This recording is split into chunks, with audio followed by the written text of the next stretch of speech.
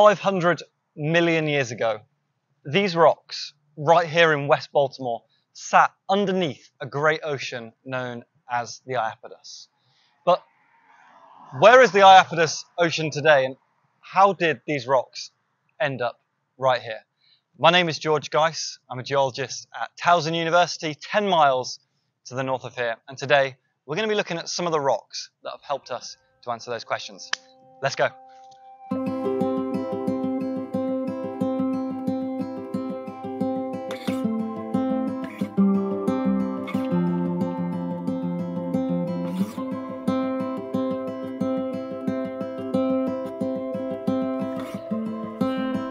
Now, before we discuss the rocks, let's zoom out and discuss Earth as a whole. So, Earth's outer shell, known as its crust, is subdivided into a series of plates. Now, these plates move around, but slowly, at about the rate your fingernails grow. And it's this slow movement of plates that leads to volcanoes, earthquakes, and it can even grow entire mountain ranges like the Himalayas or the Appalachians. The crust that we live on is called continental crust, which is different to the crust that sits beneath the oceans, such as the Atlantic and the Pacific. That crust is called oceanic crust. And it's these different types of crust, continental and oceanic, that are made up of different types of rock. The oceanic crust is largely made of rock that is pretty dense, while the continental crust is made of rock that is relatively low density. It's pretty light. This means that when a plate of continental crust is moving towards a plate of oceanic crust, the denser oceanic crust will dive beneath the continent, returning to the Earth's interior by a process that geologists call subduction. So that's how things normally work. But occasionally Earth throws up a little quirk that geologists still don't fully understand. So instead of the ocean going back down into Earth's innards, fragments of it end up getting whacked up onto the continents. And those fragments, those city-sized fragments, uh, are called ophiolites.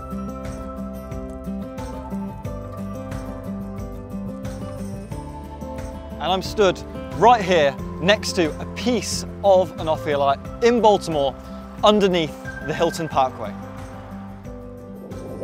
So the story of the ophiolite that sits underneath the city of Baltimore over there starts 500 million years ago.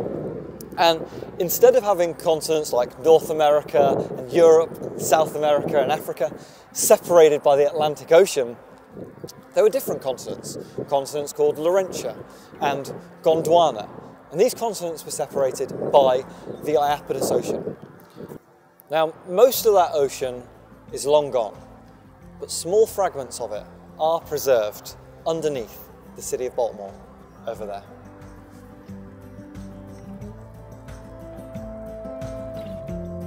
Now, to explain that a little more, Laurentia and Gondwana, these ancient continents, were moving slowly towards one another. As they moved, they destroyed the Iapetus Ocean, which was being subducted back into Earth's interior.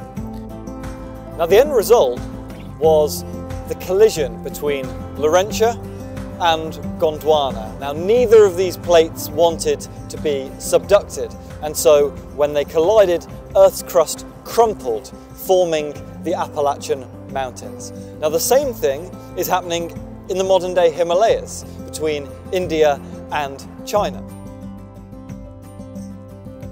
Sometime during this transition from subduction to collision, small fragments of the Iapetus Ocean were whacked up onto the land that today sits right here in Baltimore.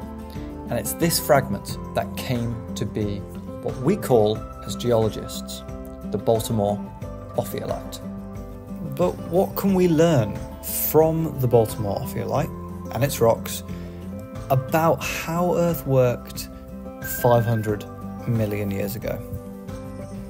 Now, to explain that, we need to take a quick trip to the other side of the world to visit a scientific drilling program that has used submersibles and oceanic drilling to study the rocks at the bottom of the West Pacific Ocean. Now, this work revealed that the lavas erupted onto the seafloor show a distinctive chemistry that, crucially, changes through time.